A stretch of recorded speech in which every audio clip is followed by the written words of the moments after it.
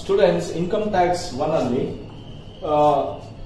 Incidence of tax ಅಲ್ಲಿ ನನ್ನ ಹತ್ರ ಒಂದು ಕ್ವಶನ್ ಇದೆ. ಇವತ್ತು ಹೇಳುವಂತ ಕ್ವಶನ್ ಅಲ್ಲಿ ಒಂದು ಇಂಪಾರ್ಟೆಂಟ್ ಪಾಯಿಂಟ್ ಇದೆ. ಅದೇನು ಅಂತ ನೋಡೋಣ. ಇಲ್ಲಿ ಸೊಲ್ಯೂಷನ್ ಮಾಡೋದಕ್ಕೆ ಮುಂಚೆ ಫಸ್ಟ್ ನಿಮ್ಗೆ ಒಂದು ಹೇಳಬೇಕು. ನಾನು ಕ್ವಶನ್ ಓದ್ಬೇಕಾದ್ರೆ ಆ ಕ್ವಶನ್ ಅಲ್ಲಿ ಏನೇನಿದೆ, ಅವೆಲ್ಲ ಕೂಡ ಪರ್ಟಿಕ್ಯುಲರ್ಸ್ ಅಲ್ಲಿ ಪಾಯಿಂಟ್ಸ್ ವೈಸ್ ಇಲ್ಲಿ ಬರೀಬೇಕು. Ordinary not ordinary not non resident case ಅಲ್ಲಿ ಅಮೌಂಟ್ ಮಾತ್ರ ಬರೀಬೇಕು. ಏನ್ ಬರ್ದಿರ್ತೀನೋ ಅದು ಆನ್ಸರ್ ಆಗಿ ಬರುತ್ತೆ. ನಿಮ್ಗೆ ನಿಮ್ಗೆ ಪ್ರಾಬ್ಲಮ್ನ ಇಲ್ಲಿ ಡಿಸ್ಪ್ಲೇ ಮಾಡಿರ್ತೀನಿ. Point one two three till fourteenth ವರ್ಗು ಕ್ಲೀನ್ ಆಗಿ ಓದ್ಬಿಟ್ಟು ಅರ್ಥ ಮಾಡಿಕೊಂಡು ನಾವು ಟ್ಯಾಕ್ಸ್ ಮಾಡ್ಬೇಕಾ ಮಾಡಬಾರ್ದ?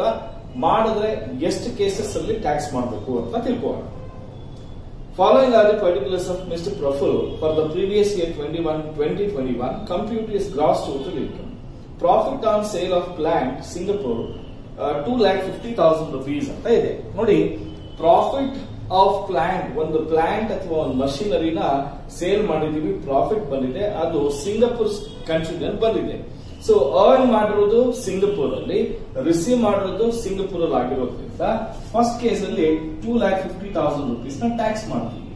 ಆದ್ರೆ, ಅದೇ ಪಾಯಿಂಟ್ ಅಲ್ಲಿ ಏನಿದೆ ಅಂದ್ರೆ half of the amount is received in India ಅಂತ ಇದೆ ಅಂದ್ರೆ ಈ two lakh fifty thousand rupees ಅಲ್ಲಿ ಫಿಫ್ಟಿ ಪರ್ಸೆಂಟ್ ಅಂದ್ರೆ ಹಾಫ್ ಇಂಡಿಯಾದಲ್ಲಿ receive ಮಾಡಿದಾರಂತೆ so any income earned in India or received in India is taxable in all the three cases ಆಗುತ್ತೆ.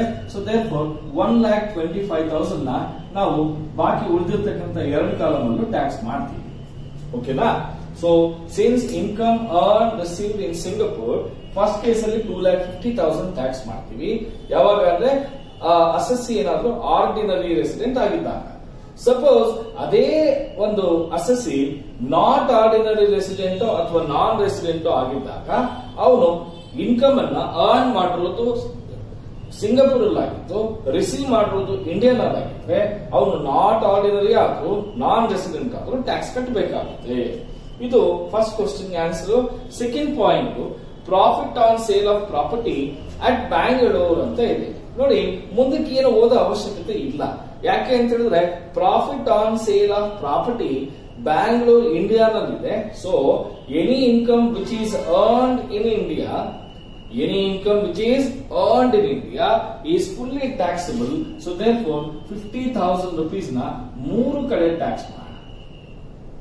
ಓಕೆನಾ ಯಾಕೆಂದ್ರೆ ಅರ್ನ್ ಮಾಡೋದು ಬೆಂಗಳೂರಲ್ಲಿ ಇಲ್ಲಿ ಪಾಯಿಂಟ್ ಓದಿದ್ರೆ ಹಾಫ್ ರಿಸೀವ್ಡ್ ಇನ್ ಹಾಂಗ್ಕಾಂಗ್ ಅಂತ ಹೇಳ್ತಿದ್ರೆ ಅವನು ಅರ್ಧ ಹಾಂಗ್ಕಾಂಗ್ ಅಲ್ಲಾದ್ರೂ ಆಗಲಿ ಫುಲ್ ಹಾಂಗ್ಕಾಂಗ್ ಅಲ್ಲೇ ರಿಸೀವ್ ಮಾಡಿರ್ಲಿ ಇಂಡಿಯಾನಲ್ಲಿ ಅರ್ನ್ ಮಾಡಿದ ತಕ್ಷಣ ಇಂಡಿಯನ್ ಗವರ್ಮೆಂಟ್ ಆ ಅರ್ನ್ ಮಾಡಿರೋ ಇನ್ಕಮ್ ಮೇಲೆ ಟ್ಯಾಕ್ಸ್ ಅನ್ನ ಹಾಕುತ್ತೆ. ಅದಕ್ಕೆ ಮೂರ್ ಕಡೆಗೂ ಟ್ಯಾಕ್ಸ್ ಮಾಡಿ. ಇನ್ನ third point interest on U K development bonds two lakh of which one lakh remitted to India ಅಂತ ಇದೆ. ನೋಡಿ, ಯಾವುದೇ ಕಾರಣಕ್ಕೂ ನಾವು ರೆಮಿಟೆಡ್ ಟು ಇಂಡಿಯಾ ಅನ್ನೋ ವರ್ಡ್ ಅನ್ನ ನಾವು ಇಲ್ಲಿ ಇಗ್ನೋರ್ ಮಾಡಬೇಕಾಗಿರೋ ಸಂದರ್ಭ ಬರುತ್ತೆ. ಅಲ್ಲಿ ರೆಮಿಟೆಡ್ ಅನ್ನೋ ವರ್ಡ್ ಇದೆ ಹೊರತು ರಿಸೀವ್ಡ್ ಅನ್ನೋ ವರ್ಡ್ ಇಲ್ಲ. ರಿಸೀವ್ಡ್ ಅಂತ ಇದ್ದಿದ್ರೆ ಏನಾದ್ರೂ ನಾವು ಅಪ್ಲೈ ಮಾಡಬಹುದಾಗಿತ್ತು ಇಲ್ಲಿ ಇಂಟ್ರೆಸ್ಟ್ ಅರ್ನ್ ಮಾಡಿರೋದು ಯು ಕೆ ಡೆವಲಪ್ಮೆಂಟ್ ಬಾಂಡ್ಸ್ ಅಲ್ಲಿ ಅರ್ನ್ ಮಾಡಿರೋದು U K development bonds U K ನಲ್ಲಿ ರಿಸೀವ್ ಮಾಡಿರೋದು ಕೂಡ ಯು ಕೆ ನಲ್ಲೇ ಆಗಿರೋದ್ರಿಂದ ಫಸ್ಟ್ ಕೇಸ್ ಅಲ್ಲಿ ಮಾತ್ರ ಟೂ ಲ್ಯಾಕ್ ರುಪೀಸ್ನ ಟ್ಯಾಕ್ಸ್ ಮಾಡ್ತೀವಿ. ಇನ್ನೆರಡು ಕೇಸಲ್ಲೂ ಮಾಡೋದಿಲ್ಲ. ನೆಕ್ಸ್ಟ್ ನಾಲ್ಕನೇ ಪಾಯಿಂಟ್ ನೋಡೋಣ. Profit from business in Mangalore controlled in from U S A ಅಂತ ಹೇಳ್ತಾರೆ. ನೋಡಿ ಕಂಟ್ರೋಲ್ಡ್ ಎಲ್ಲಾದ್ರೂ ಆಗಿದೆ. ಫಸ್ಟ್ ಇರ್ತಕ್ಕಂಥದ್ದು ಏನು? ಪ್ರಾಫಿಟ್ಸ್ ಬಂದಿದೆ ಬಿಸ್ನೆಸ್ನಿಂದ. ಆ ಬಿಸ್ನೆಸ್ ಎಲ್ಲಿ ಮಾಡಿರೋದು? ಮ್ಯಾಂಗ್ಳೂರ್ ಅಲ್ಲಿ ಮಾಡಿದೀವಿ ಮಂಗಳೂರಲ್ಲಿ ಮಾಡಿದೀವಿ ಸೊ ದೇರ್ ಫೋರ್ ಇಂಡಿಯಾನಲ್ಲಿ ಅರ್ನ್ ಮಾಡಿರೋದ್ರಿಂದ ಮೂರ್ ಕಡೆನೂ ಟ್ಯಾಕ್ಸ್ ಮಾಡ್ತೀವಿ. Thirty thousand rupees taxable in all the three cases next point ನೋಡ income from business Mysore but receive in Holland ಅಂತ ಇದೆ. ನೋಡಿ, ಎಲ್ಲಾದ್ರೂ ರಿಸೀವ್ ಮಾಡಿಕೊಳ್ಳಿ. ಇನ್ಕಮ್ ಅರ್ನ್ ಮಾಡಿರೋದು ಮೈಸೂರಲ್ಲಿ ಆಗಿರೋದ್ರಿಂದ ಮೈಸೂರು ಇಂಡಿಯಾನಲ್ಲಿ ಇರೋದ್ರಿಂದ ಫುಲ್ ಐದು ಲಕ್ಷ ರೂಪಾಯಿ taxable in all the three cases ಆಗುತ್ತೆ. Next point ಹೇಳ್ಬೇಕಾಗುತ್ತೆ. Next point profits from business in Pakistan control from India ಅಂತ ಇದೆ. ನೋಡಿ ಬಿಸ್ನೆಸ್ ಮಾಡ್ತಾ ಇರೋದು ಪಾಕಿಸ್ತಾನಲ್ಲಿ ಆನ್ ಮಾಡಿರೋದು ಪಾಕಿಸ್ತಾನಲ್ಲಿ ರಿಸೀವ್ ಮಾಡಿರೋದು ಪಾಕಿಸ್ತಾನಲ್ಲೇ. ಸೊ ಅದಕ್ಕೆ six lakh rupees but control ಆಗಿರೋದು ಏನಂತೆ? ಇಂಡಿಯಾನಲ್ಲಿ ಕಂಟ್ರೋಲ್ ಆಗಿರುತ್ತೆ so there four six lakh ರುಪೀಸ್ನ ಕಂಟ್ರೋಲ್ ಅಂತ ಇರೋದ್ರಿಂದ ಫಸ್ಟ್ ಟೂ ಕೇಸಸ್ ಅಲ್ಲಿ ಟ್ಯಾಕ್ಸ್ ಮಾಡ್ತೀವಿ. ಆದ್ರೆ ಅವನು forty percent of the profits received in India ಅಂದ್ರೆ ಈ ಸಿಕ್ಸ್ ಲ್ಯಾಕ್ಸ್ ಅಲ್ಲಿ ಫಾರ್ಟಿ ಪರ್ಸೆಂಟ್ ಇಂಡಿಯಾನಲ್ಲಿ ರಿಸೀವ್ ಮಾಡಿರೋದ್ರಿಂದ ಥರ್ಡ್ ಕೇಸ್ ಅಲ್ಲೂ ಕೂಡ ನಾವು ಫಾರ್ಟಿ ಪರ್ಸೆಂಟ್ ಅಂದ್ರೆ ಸಿಕ್ಸ್ ಲ್ಯಾಕ್ಸ್ ಮೇಲೆ ಫಾರ್ಟಿ ಪರ್ಸೆಂಟ್ ಅಂದ್ರೆ ಟೂ ಲ್ಯಾಕ್ ಫಾರ್ಟಿ ತೌಸಂಡ್ ಬರುತ್ತೆ. ಅದನ್ನ ನಾನ್ ರೆಸಿಡೆಂಟ್ ಕೇಸ್ ಅಲ್ಲೂ ಕೂಡ ಟ್ಯಾಕ್ಸ್ ಮಾಡ್ತೀವಿ.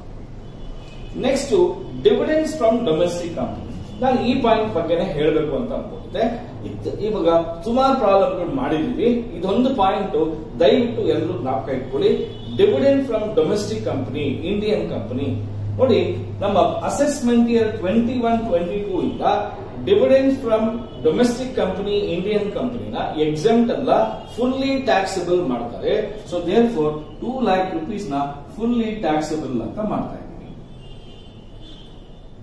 Fully taxable so as per one fifty one C O ಓಕೆನಾ ಏನ್ ಮಾಡುತ್ತೆ ಅಂದ್ರೆ ಇಷ್ಟು ದಿನ ಡಿವಿಡೆನ್ಸ್ ಮೇಲೆ ಕಂಪನಿ ಅವರು ಟ್ಯಾಕ್ಸ್ ಹಿಡ್ಕೊಂಡು ಓಕೆನಾ ಡಿವಿಡೆಂಟ್ ಟ್ಯಾಕ್ಸ್ ರೇಟ್ನ ಅಥವಾ ಡಿವಿಡೆಂಟ್ ಡಿಸ್ಟ್ರಿಬ್ಯೂಷನ್ ಟ್ಯಾಕ್ಸ್ನ ಇಟ್ಕೊಂಡು ಮಿಕ್ಕಿದ್ ಕೊಡ್ತಾ ಇದ್ರು.